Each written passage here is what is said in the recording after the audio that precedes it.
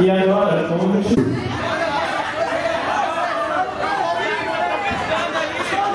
O que